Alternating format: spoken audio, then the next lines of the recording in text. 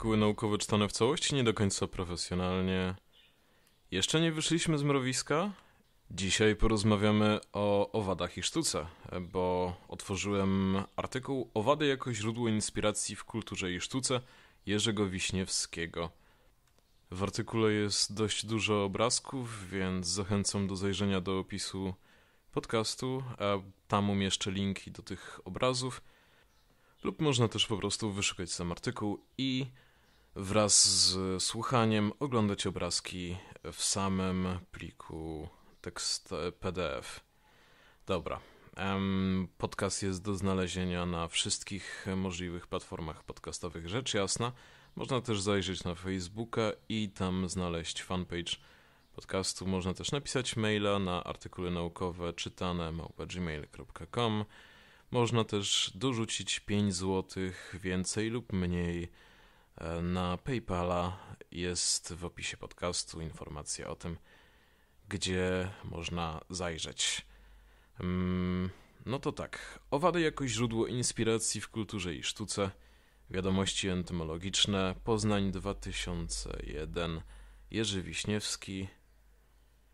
I cóż, słowa klucze, insekty, inspiracja, sztuka i kultura, angielski abstract, diversity of insect form and color is enormous. For this reason, in art, literature and music there are many examples of works of outstanding authors who were fascinated and inspired by insects of various taxa.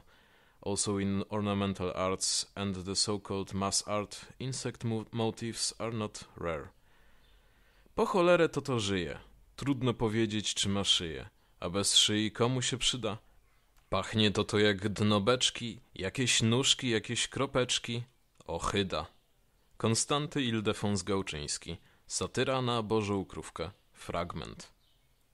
Owady pospolicie występują na kuli ziemskiej. Ich kształt, kolor, rozwój, a także znaczenie fascynowały od najdawniejszych czasów nie tylko przyrodników, ale także filozofów, artystów, muzyków, pisarzy.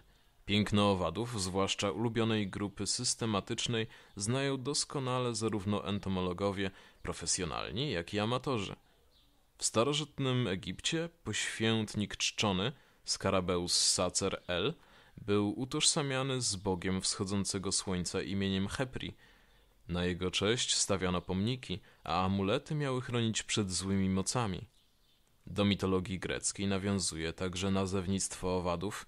Apollo, syn Zeusa i Latony, opiekował się muzami. Córki Zeusa i Mnemozyny, bogini pamięci, zamieszkiwały pasmo górskie zwane Parnasem. Te fakty wykorzystali Latrell i Linneusz, opisując rodzaj i gatunki Parnasius Apollo L i P. Mnemozyna L. Innym przykładem może być rodzaj Goliatius – a także gatunki Saturni, Herkules.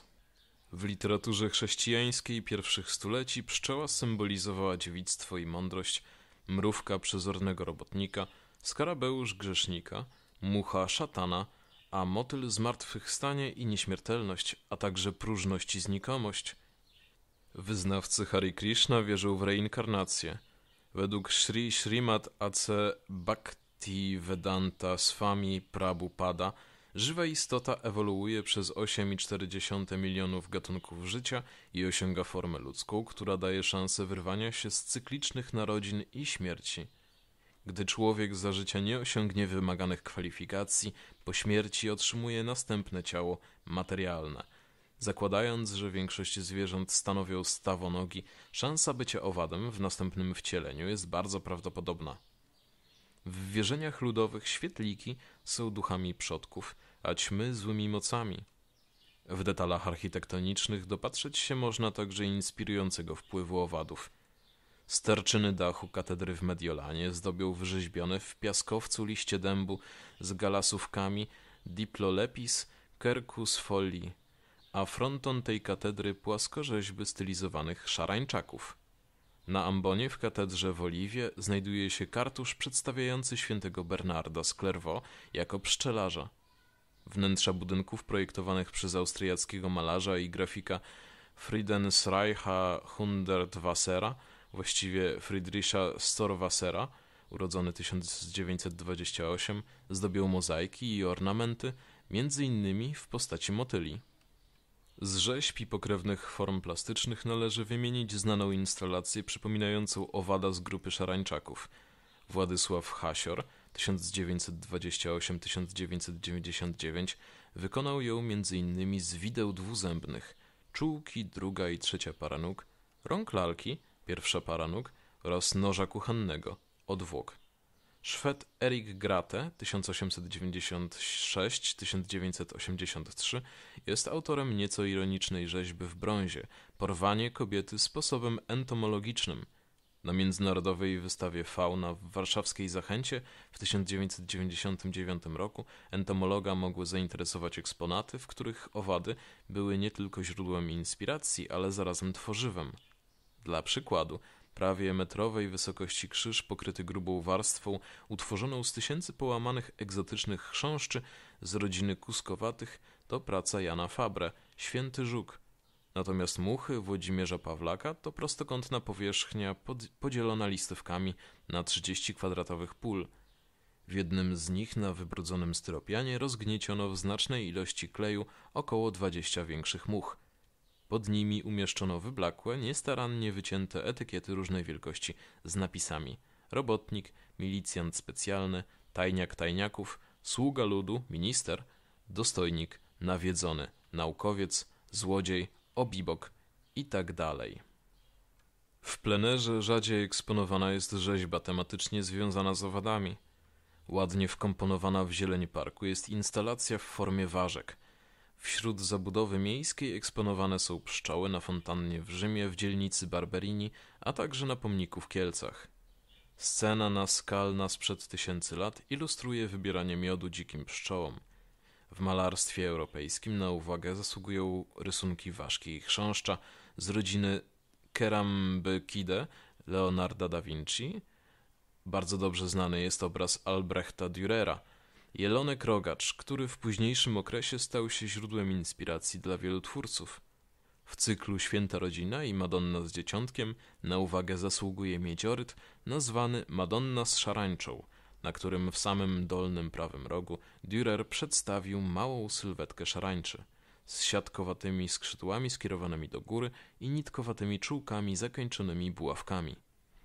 Jan van Kessel na obrazie Owady i owoce przedstawił motyla, chrząszcze, pluskwiaka, błonkówki i jętkę w otoczeniu żółtych porzeczek. Pasieki wśród pól i lasów malował Rosjanin Iwan Szyszkin 1832-1898. W bardzo kontrowersyjnych obrazach o równie kontrowersyjnych tytułach hiszpańskiego malarza Salvadore Dalego pojawiają się mrówki, częściowe złudzenie zmysłów, sześć objawień Lenina na fortepianie, trwałość pamięci, sen. Pszczoły. Sen spowodowany lotem pszczoły wokół owocu granatu na jedną sekundę przed przebudzeniem. Pasikoniki. Wielki masturbator. Żałobna gra. Z polskich malarzy wymienimy m.in. obraz Elviro Andriolego 1836-1893 w Pasiece Leona Wyczółkowskiego 1852-1936 usychające drzewa leśne, zapewne uszkodzone przez tak zwane szkodniki wtórne. Józef Mechofer 1869-1946 na obrazie Dziwny ogród przedstawił na pierwszym planie u góry dużą ważkę. Dawniej możliwości fotografii artystycznej owadów były znacznie ograniczone z powodu niskiej czułości materiałów – a także braku dobrego sprzętu do makrofotografii. Dlatego pojawiały się niejednokrotnie fotogramy martwych owadów, także fatalnie spreparowanych, w ich mniej lub bardziej naturalnym środowisku. Rozwój technik fotograficznych sprawił, że obecnie zdjęcia fascynują nie tylko pięknem, kompozycją i kolorem, ale także zatrzymaniem w kadrze wręcz nieprawdopodobnych scen z życia owadów. Plejada zagranicznych i polskich artystów fotografików z tego zakresu jest tak znaczna, że trudno wymienić choćby kilka najbardziej znanych nazwisk. Filmy fabularne produkowane w ostatnich latach należą przede wszystkim do thrillerów i horrorów. Na ekranie strach i trwogę sieją błyskawicznie rozwijające się na skutek niekontrolowanych eksperymentów genetycznych lub katastrof ekologicznych nadmiernie rozmnożone, niekiedy gigantyczne owady – Oto kilka przykładów. Amerykański thriller Władza gigantycznych mrówek został zrealizowany w 1976 roku przez Berta i Gordona.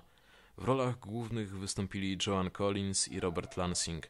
Na Wyspie Marzeń, którą zwiedza grupa potencjalnych nabywców działek budowlanych na skutek skażenia odpadami radioaktywnymi, rozmnożyły się olbrzymie mrówki siejące przerażenie i spustoszenie. Śmiertelny Rój to amerykański film katastroficzny wyprodukowany w 1977 roku. W rolach głównych wystąpili Michael Caine, Catherine Ross, Richard Widmark i Richard Chamberlain. Olbrzymi rój agresywnych pszczół napada na milionowe miasto Houston, powodując chaos, zgrozę i śmierć. Przy pomocy wojska renomowany naukowiec zatrzymuje śmiertelny rój owadów. Atak zabójczych pszczół to amerykański film zrealizowany w 1994 roku. W rolach głównych wystąpili Robert Hayes i Nancy Stafford. Z seriali animowanych wyjątkową popularność zyskała pszczółka Maja, która wraz z trutniem Guciem stanowi nierozłączną parę szukającą przygód wśród innych stawonogów. Z filmów pełnometrażowych należy bezwzględnie wymienić dwa następujące. Mrówka Z, animowany film amerykański z 1998 roku w reżyserii Erika Donnella.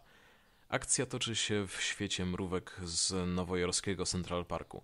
Główny bohater o imieniu Z 4195 marzy o miłości do córki samej królowej. Głosy bohaterom użyczyli m.in. Woody Allen, Sharon Stone, Sylvester Stallone.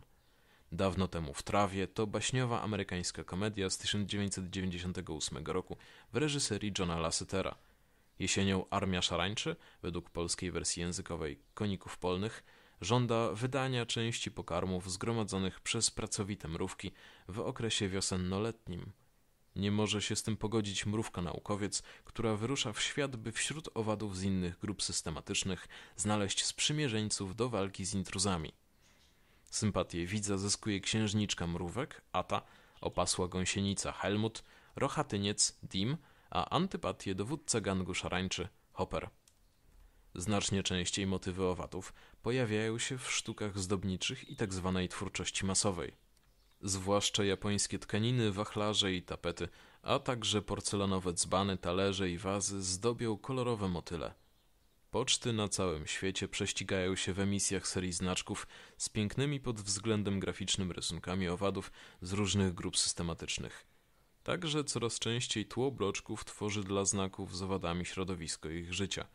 Ostatnio emituje się serie, które na stronie podgumowanej zawierają oprócz nazwy rodzimej i łacińskiej danego owada także jego krótką charakterystykę. Na datownikach okolicznościowych oraz pośredniej frankaturze mechanicznej pojawiają się również akcenty entomologiczne. Mhm, i tutaj zatrzymajmy się na chwilę. Co to jest frankatura mechaniczna? Według Wikipedii Znak pocztowy odbity przez maszynę frankującą bezpośrednio lub pośrednio na przesyłce pocztowej, zawierający znak opłaty, datownik i napis. A maszyna, e, maszyna frankująca, tudzież frankownica, to urządzenie do masowej wysyłki korespondencji. Urządzenie nanosi na kopertę następujące odciski matryc.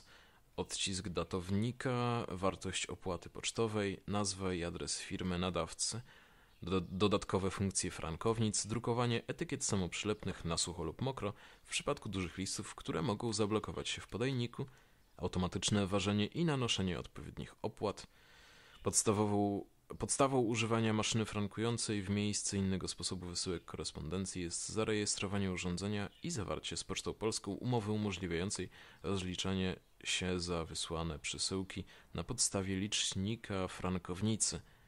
Podłączenie licznika pozwala kontrolować ilość korespondencji wysłanej dziennie, tygodniowo lub miesięcznie. Rozbudowane frankownice mają również wbudowane złożone systemy podajników, funkcje kopertowania i sklejania. I jak wiemy z artykułu również informacje o owadach. Wracamy do artykułu.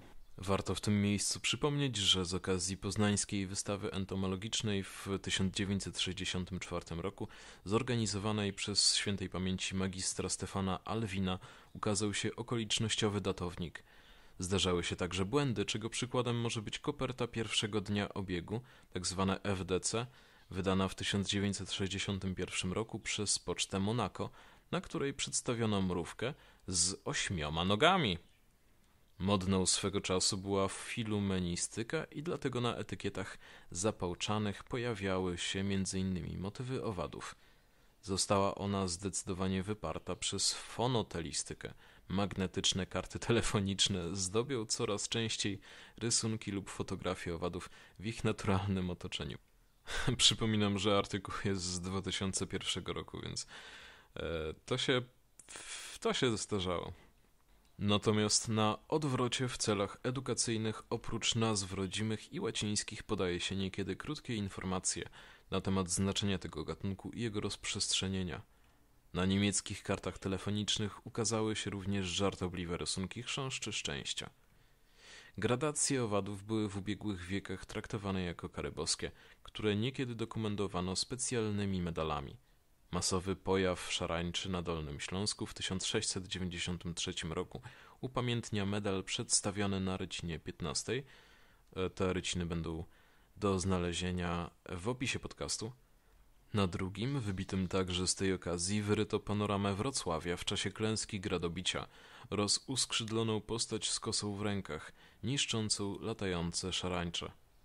Ryty owadów zdobią monety różnych czasów, na przykład Polski, jelonek rogacz, Słowenii, pszczoła miodna, Filipin i Papui Nowej Gwinei, motyl, a także banknoty lub inne środki płatnicze. Na tysiącfrankowym banknocie szwajcarskim widnieje wizerunek Augusta Forela 1848-1931, profesora psychiatrii, neurologa i biologa, który przez wiele lat zajmował się taksonomią i biologią mrówek.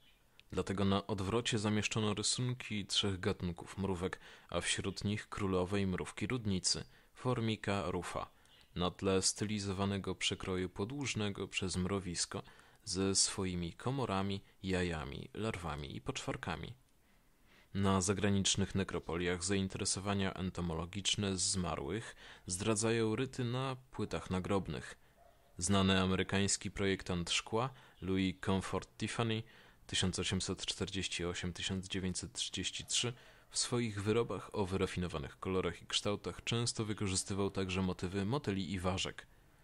Uprzednio wymienione grupy owadów oraz chrząszcze i błonkówki inspirują twórców złotej i srebrnej biżuterii oraz innych damskich ozdób. Na plakacie reklamującym film Milczenie owiec z Judy Foster w roli głównej motyl Acherontia atropos przykrywa usta na twarzy o zamazanych brzegach. Z chwilą emisji dwóch uprzednio wymienionych filmów animowanych mrówki w reklamie telewizyjnej stały się wyjątkowo modne.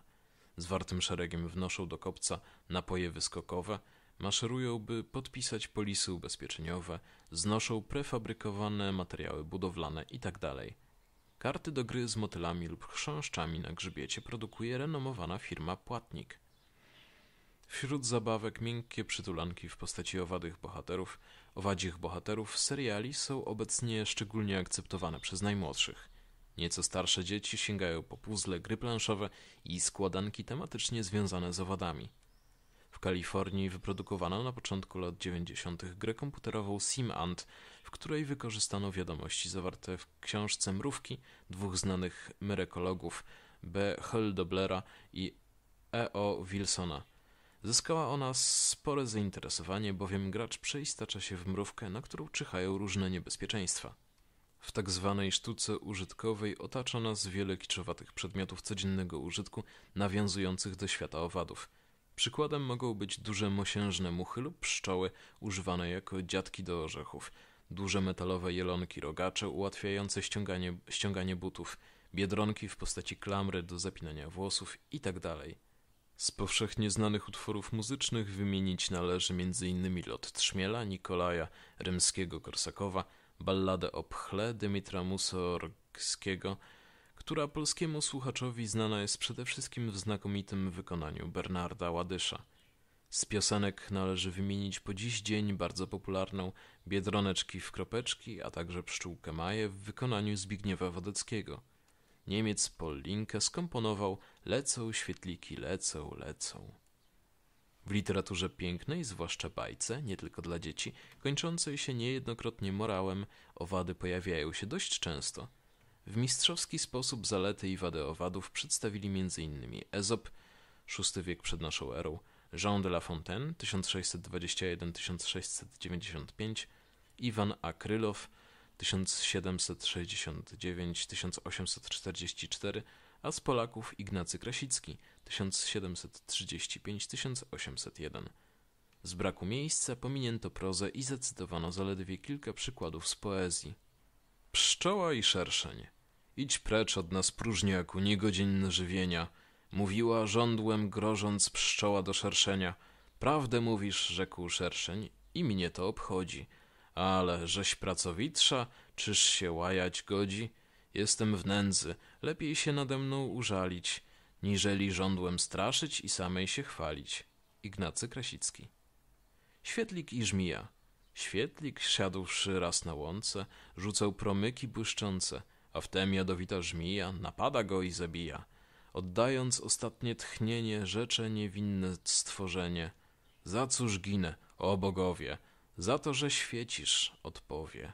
Konstanty Majeranowski Mucha na cokole.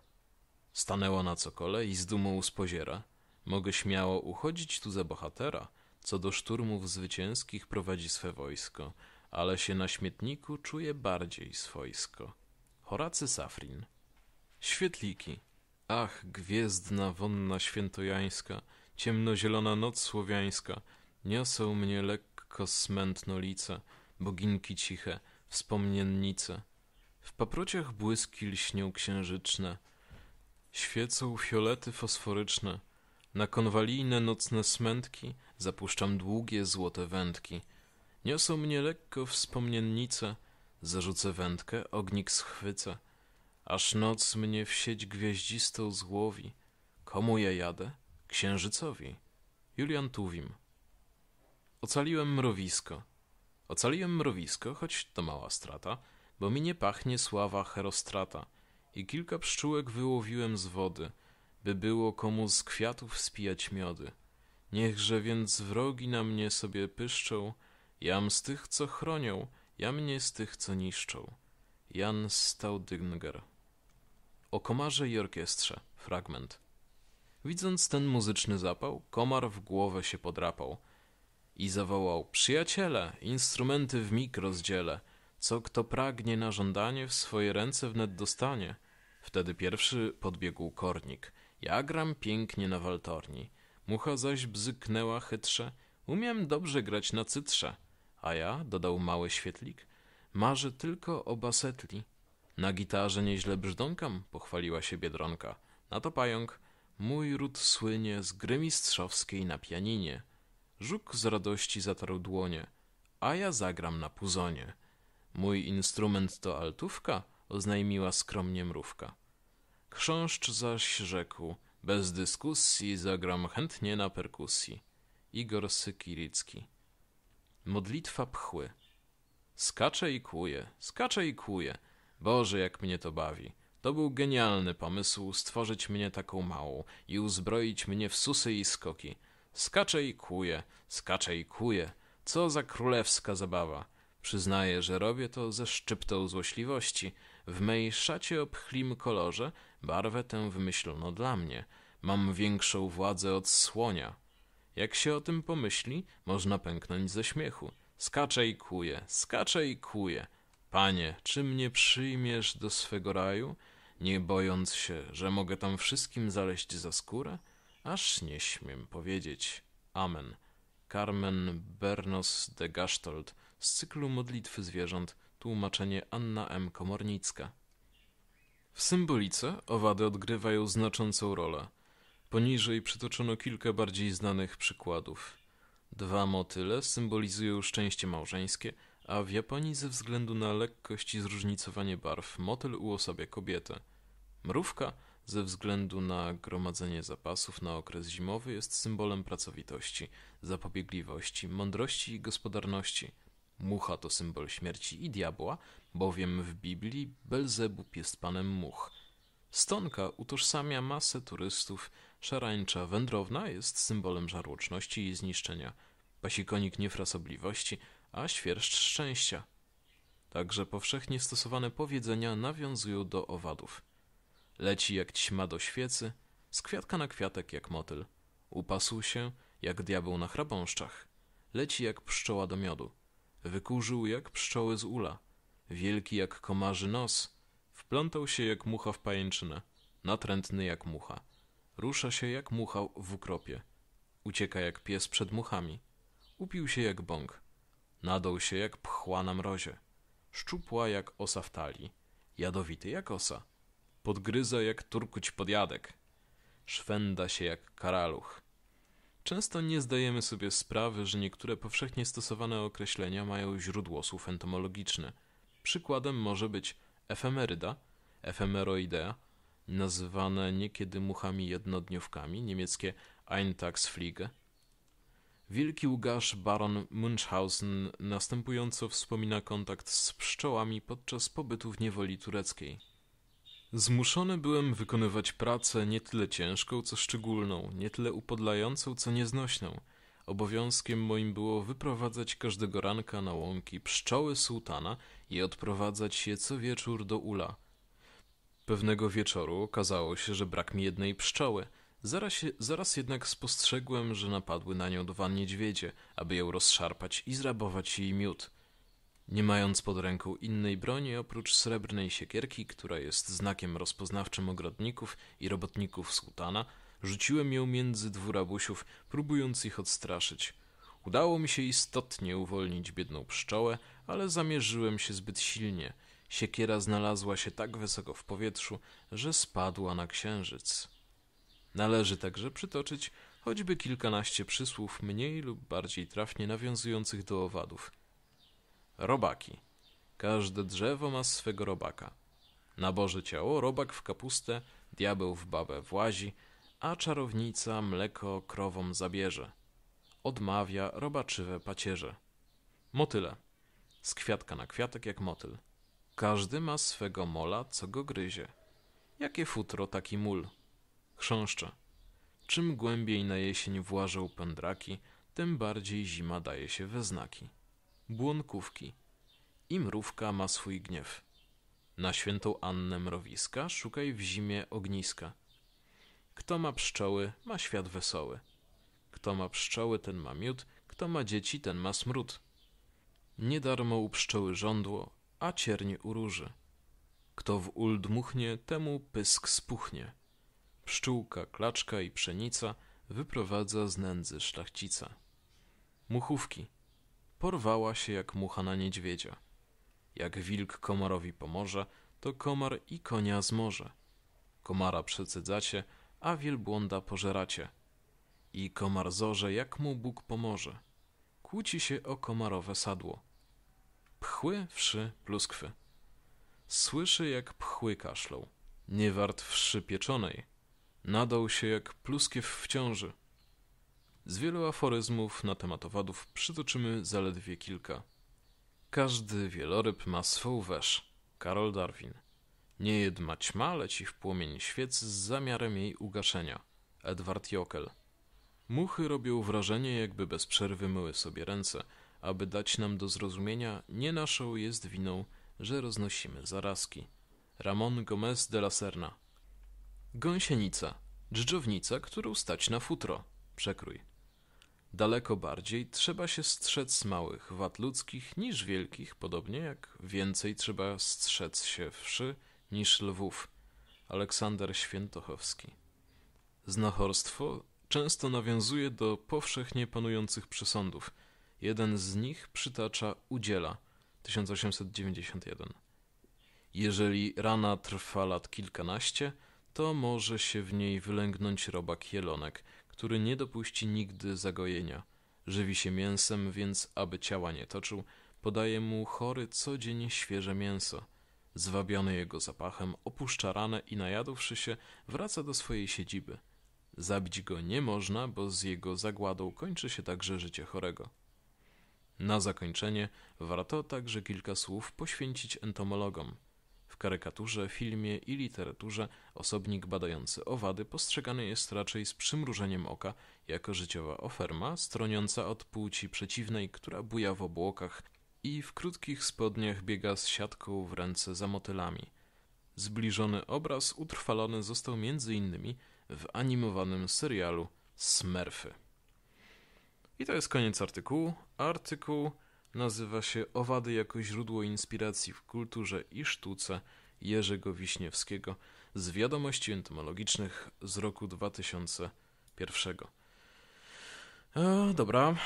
Y, jak już mówiłem wiele razy, ilustracje będą w opisie podcastu. Um, zaznaczam, że w artykule jest sporo literówek. Um, I też tak mam poczucie, że artykuł jest jednym z takich artykułów, które um, nie przynależą metodologicznie do pisma, w którym się znalazły. To znaczy, że biorąc pod uwagę, że jest to z wiadomości entomologicznych, to to nie jest taki wyspecjalizowany artykuł kulturoznawczy, tylko to jest raczej taki um, rozrywkowy przegląd kulturowy owadów w sztuce i kulturze.